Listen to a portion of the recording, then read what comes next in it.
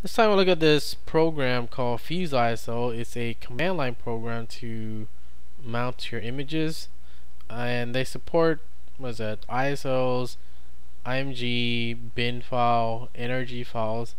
Uh, only single session, not multi-session uh, images. Okay. Uh, so the reason why I like this one over the mount command is because you don't need root privileges to use this uh, and it's actually easier to remember because you don't have to do like mount dash o loop dash t or some bullshit like that. I, never remember that one. Anyways um, another one is um, what was that? You don't have to make the folder ahead of time and then mount it to it which is kind of a waste of time. But this one has a command that does it automatically and it will delete the folder once you unmount uh, on the fly also okay uh, so I'll give you an example. We have a few ISOs of distros here, and we're just going to use fuse ISO, and we do the dash P. This one will tell it to create the folder if it doesn't exist. Okay. The good thing about using dash P is that uh, when you unmount, uh, it will just delete the folder on the fly also. Okay. So I'm giving you a visual here. So right now we don't have um, you know the folder we'll call it uh, ABC or something. So there's no folder called ABC in here okay? But um, if we you know mount it so we're to use our Kubuntu ISOs here and we're to mount it to our home folder. So the swiggy line slash and we'll call it ABC right? And there you go we have uh, folder ABC now.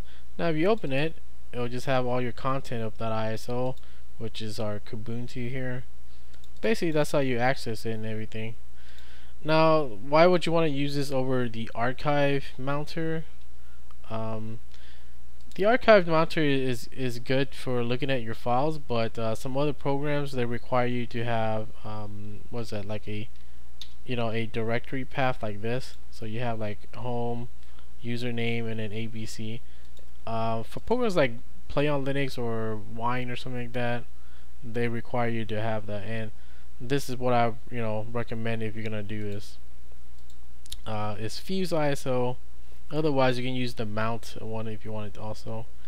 Uh, if you want to unmount it, they actually use a different command, which is called fuse user mount, and we do dash u for unmount and then we just point it to the folder that we want. So the folder is just in our home folder which is swiggy line slash abc and that's it. We're unmounted and it's gone. There's no more abc folder.